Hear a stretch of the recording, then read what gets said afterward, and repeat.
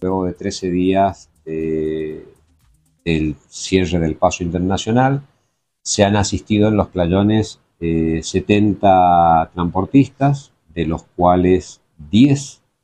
eh, han tenido que ser trasladados al, hospital de Uspallata para observación, estudios y tratamiento, y dos han,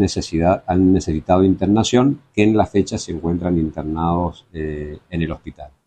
La mayoría son de nacionalidad